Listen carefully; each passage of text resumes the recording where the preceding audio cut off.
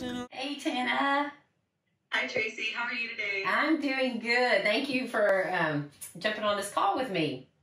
Not a problem at all. I'm looking forward to uh, helping you get started in your flooring journey and hopefully helping you pick the perfect floor. Yeah, I feel like this is going to be a really big help. You know, I worked with 20 and Oak before in our previous house, and they were wonderful to work with, but it's sometimes hard to make a decision on flooring. And so when they told me that they have someone now that you can speak with, and talk to. Um, I was very excited. So I went um, on the website and oh, need need you to know this. I bought a new house. We bought we moved. Wonderful. Yeah, so that's why I'm here in the first place. So we bought a new house. It's about 45 minutes outside of Nashville, and um, it's a new home, but it's builder's grade, and so it doesn't. It has carpet in the bedrooms, and we have pets. We're not big fans of carpet, and um, the flooring that they put in is kind of a, a cheaper version. So we just wanted really nice flooring throughout. So. Um, I went on to 20 and Oak because I knew I wanted to work with them again, and I went to the product search feature, and these were my top three choices. And um, so I wanted to just see if you could help me and we could talk about and kind of decide which one might be best for us. Definitely. Well, you did half the work. Um, you know, by using that product search feature, you narrowed everything down so that, you know, if you know what you're looking for, that's the best way to start. Yes. Uh, from the from the choices that you have there, it looks like you're looking for something a little beachy, a lighter look, Yes. uh, maybe that washed look. Yes. super popular right now.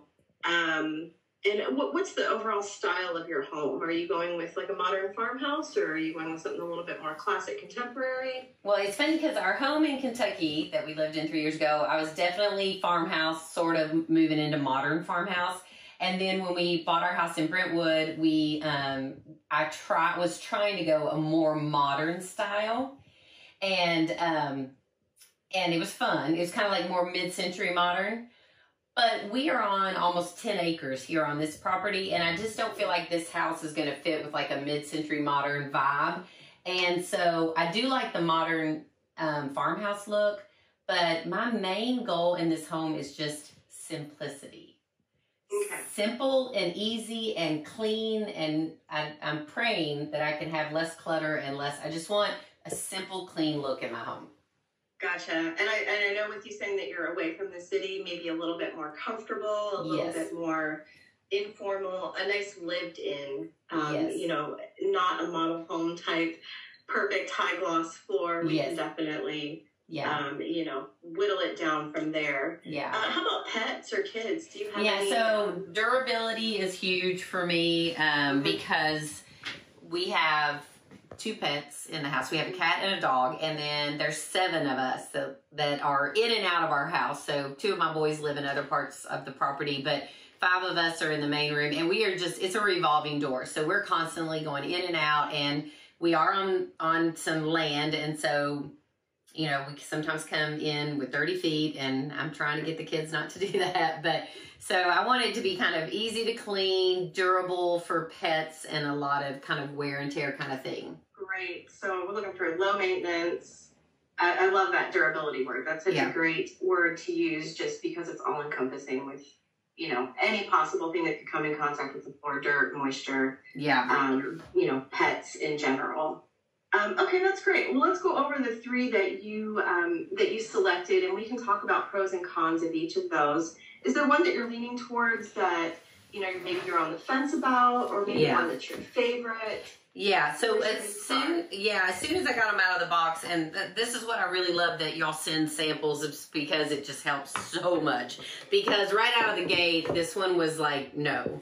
Um, I, I I liked the light look of it, but in person, I felt like it had a different a tone that's not going to go as well with my cabinets. It just didn't look as good, and it was it was a smaller a smaller plank, and Mhm. you know, different people like different things. I do prefer a wider plank. So when I had these two beside each other, I was like, oh, definitely this one. And then these two were the two that I was trying to decide between. Okay. Um, this one is the Palmetto Road Monet. And then this one is the Veranda Fine Maple, Savannah Fine Maple. Right. Um, both of these are really pretty, but I will say this is the one that I'm kind of leaning toward. Um, I love the wide plank, and it's a little less grainy than this one. So I like the simplicity of this. I feel like that's a really clean look. Um, they both kind of have a, a matte kind of finish, but I, I just I love the look and feel of this one. So this is the one I'm leaning toward. But if you could let me know as far as like durability, or if one outperforms the other, or one you think would work best for us, that would be awesome. So um, let's talk about the um, the Savannah first. So Okay. this collection is one of my personal favorites. Um, I really, really like the finish on these. Um, it's a very, almost like how you said it, you see less grain. It's a very Mhm. quiet wood. Um, it lets you kind of put the focus elsewhere whenever Mhm. it comes to design. Um, it's not a, it's not a scene stealer. It's not going to, um, you know, it, it, it, it it's not going to command focus. So this product itself um, is a is a maple hardwood.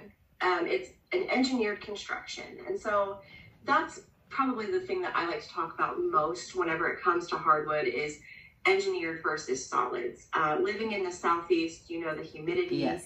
And uh, the heat is something that is uh, unlike no other.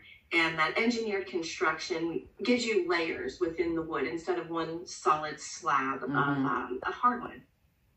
All of those structural layers, um, they help any. They help against movement. They help against um, contracting and expanding, and all of that stuff that's very detrimental to a wood floor once it's installed. Um, with solids, you'll experience cupping or warping, and you just don't see that with engineered woods Mhm. because of that structural integrity that the layers um, provide. So that's the first thing that I want to start off with. That's a great choice just from a technical standpoint. Okay. Um, you mentioned you like the wider planks. That's a seven and a half inch wide plank Love it. um, and that's a maple hardwood. So maple is, um, you know, there's a there's a scale called a Janka scale that determines, you know, the the hardness of different woods. Maple ranks pretty high up there, um, above oak, um, Wow. definitely above birch, Okay. and really um, is only beat out by your cherries. Um, Wow. So it's a very hard hardwood. So durable. Um, you'll see dur- very durable. yeah. very durable. You Good. can't say that, you know, there's people often ask, is there, you know, a hardwood that's scratch resistant? Well, Right. any wood Yeah. is going to scratch. Yeah. Um, as far as the, the likelihood of it scratching, very low when it comes to maple. Yeah. Um, that um, hardwood as well has a wire brush matte finish, like you saw. Mhm. Um, and so that, you know, even lends to the durability a little bit more. It's not fussy. It's very low maintenance. Um, you know, the care that it's going to take, uh, you know, you're not going to have to worry about waxing or polishing or maintaining any Mm. kind of shine. Uh, so you'll definitely meet Okay. your low maintenance requirement there.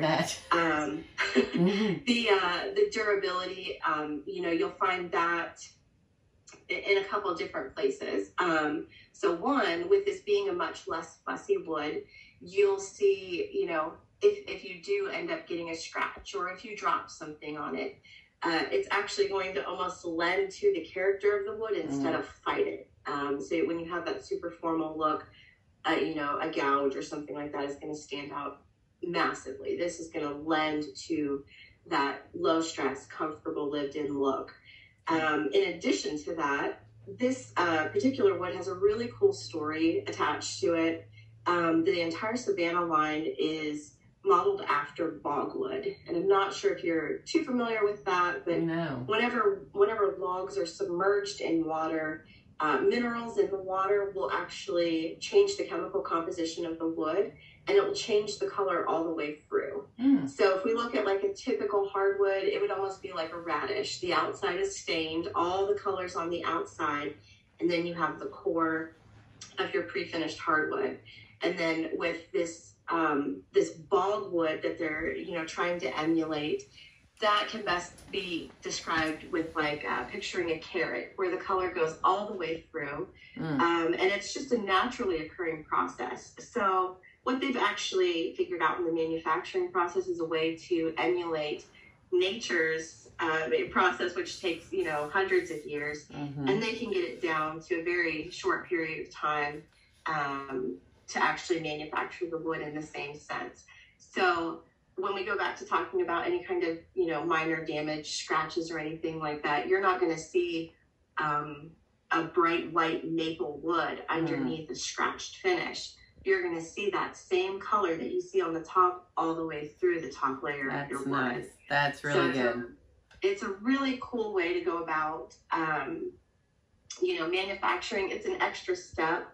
Um, and it's not actually taking bogwood, which is very rare and expensive. It's, it's Mhm. actually making it affordable and able for people to bring it into their home with that same uh, that same concept, just using some technology. So that That's is really probably cool. the coolest thing about that wood. Okay. And uh, the overall thickness of that particular one is half inch, um, which is great if you have tile in the house. Mm-hmm. Um, it'll come, you know, pretty close to even with the tile.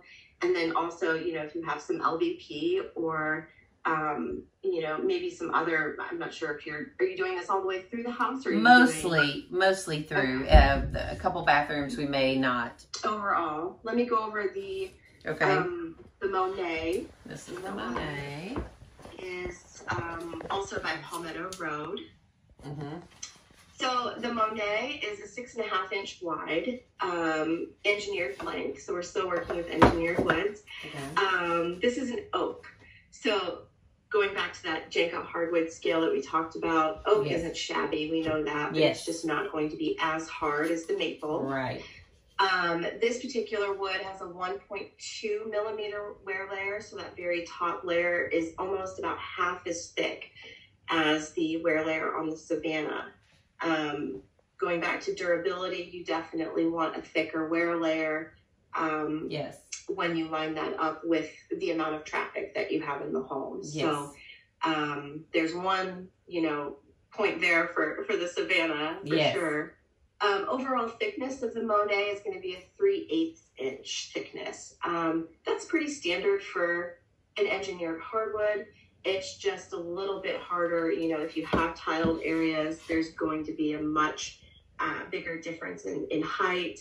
Um, of course, the more layers you have, the more stability it offers. So, a thicker engineered hardwood is going to provide a little bit more um, substance when it comes to you know a firm product that's not moving, it's not warping. Right. Um, so you have that kind of in the in the benefit for the Savannah as well. Um, both are low gloss. Yes. Um, you know, we've talked about that. Um, and then, of course, you know, just with oak being a little bit more of a, um, it, it just has more character naturally. Mm-hmm. And so that's why you're going to see more, more knots, more grain, um, more movement overall. Right. Um, and that's probably, you know, another place where it falls short to the Savannah. right. Um, but you know, just we, we went through your your sim- simplicity, durability, and low maintenance. it really, you know, if both would work in your home, but I think the Mhm. Savannah would be far superior. mm-hmm. You know, as far as your needs and then your design aesthetic as well.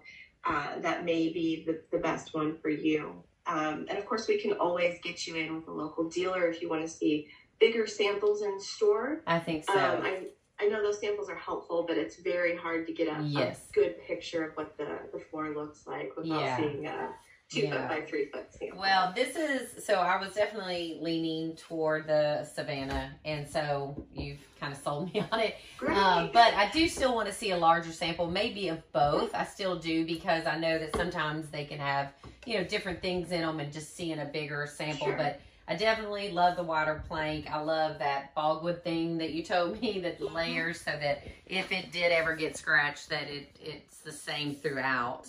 Yeah, I'm kind of sold on this one. This is the one I was leaning to, so it makes me happy that you're kind of saying that it may be a better choice. But I do think if um if you could set me up a time, maybe that we could that I could go to a retailer. I'd like to see them in bigger um bigger options and compare the the price points and things like that um, before I make Definitely. my final decision. Absolutely. Yeah. So what I'll do, Traci, is I'll um, I'll pull up our nearest dealers to you, just Okay. using your zip code, and um, what I can actually do is call them and set up a time for you to go in, Okay. and um, you know just set up an appointment. They'll be ready for you, and um, then you know when it comes down to installation, do you Mhm. need them to come out and measure? Do you need them to give you a quote on any type of installation?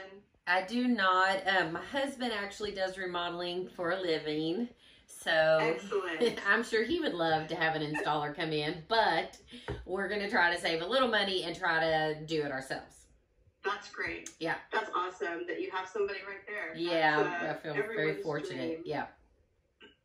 Since he does that for a living, I'm sure that he's got it all squared away. But you know that you can always, um, you know, ask us if you have any questions Yeah. um, regarding installation, and um, we're always available to help Yeah. with that if he needs a recommended adhesive or anything like that. Okay. So, we will um, keep that what I'll do is I'll get you connected with um, your closest dealer Okay. and um, we'll set up a time for you to go in, check out the bigger samples before Okay. you actually pull the trigger and decide that's what you want to go with. Okay. And then um, once you're there, they can help with um, ordering, and then of course, you know, your husband will have your measurements. Yes. So um, they'll give you pricing, they'll give you a lead time, and they'll let you know how soon you can get started on those floors. Yay, that's awesome. I'm excited. I appreciate it. Thank you so much for taking the time. Not a problem at to meet all. with me. Um, this really helps. My husband knows I'm always like, I'm always iffy when I go into the store and they ask if I need help, and I'm always like, no, I'm good because I always hate,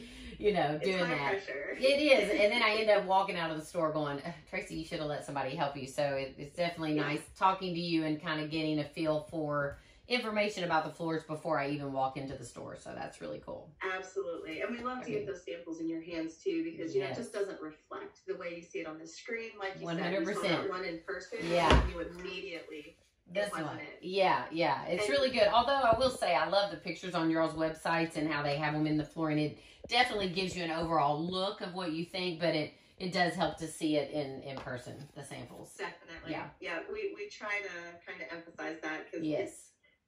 As we as best we can represent it, it just doesn't translate like it does in your lighting and with your furniture yes. against your Cabinets. and Yes. all of that. All of So, that. Yep, I agree.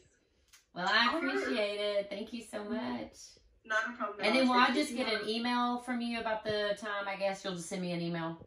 I can email you or call you, whichever is easier Okay. for you. Um, I'll probably send it in an email, and then that way you'll have address, phone number, all the information that you'll need. Okay. And then you'll have all of my contact information as well, just Awesome. in case you think of anything else. Please feel free to reach out, and uh, we're here to help. I will. Thank you. Thanks so much, right. Traci. Bye.